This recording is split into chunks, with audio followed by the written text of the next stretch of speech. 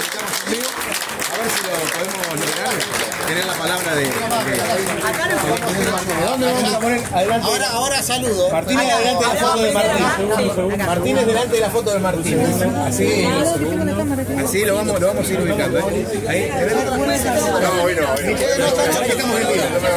Sabés que estamos en vivo. Más abajo, ahí. Sabés que estamos en vivo. Ahí está, el abrazo de Javier Martínez. Cámara que vamos a pedir que, que se ponga en un lugar donde no, no nos interrumpa. Estamos en vivo. Justamente estamos Nosotros tratando todos de los colegas trabajando en vivo. Estamos, estamos, ¿eh? Cuidado que estamos en vivo, cuidado con el estamos en vivo. Ahí escuchamos la palabra de Martín. Bueno, vamos a escuchar ahora, vamos a escuchar a Manuel. A ver, Y acercamos micrófono. a ver, estamos tratando. Estoy un poco enredado con los cambios. intendente, felicitaciones por los resultados en esta elección. Bueno, muy buenas noches. Eh, gracias por, por estar.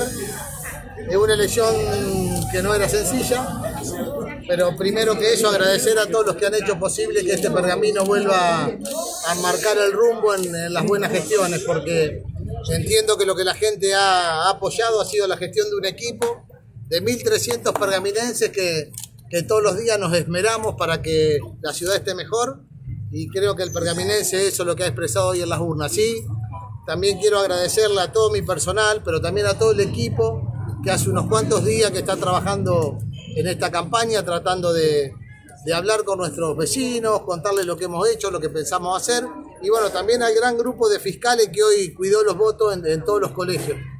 Y también un agradecimiento a nuestros eventuales adversarios, porque como lo he dicho en dos o tres ocasiones, entiendo que hemos tenido una campaña positiva, una campaña de ideales, y que esta segunda parte de la, este segundo tramo de la campaña de las pasos hasta acá, creo que hemos hecho una campaña revalorizando la ciudad y lo que cada uno pensamos de ella, así que también quiero agradecerle a ellos. Especulaban con este resultado, Javier, ustedes, desde el inicio del trabajo.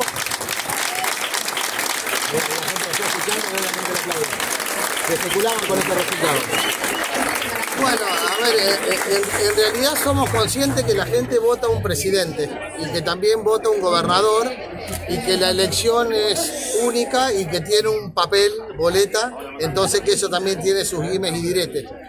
Pero bueno, aún así, después de ocho años de gestión, eh, estar representado por la mayoría de los pergaminenses también para nosotros es un orgullo. Sí esperábamos que nos vaya bien, el equipo trabajaba y nosotros trabajamos todos los días para que nos vaya bien, así que esperábamos eso. Una para el aplauso, Javier. 10 elecciones, 10 ganadas. Eh, bueno, bueno. Eso, eso es gracias al equipo. Intendente, ¿lo han sorprendido los resultados en nación y provincia?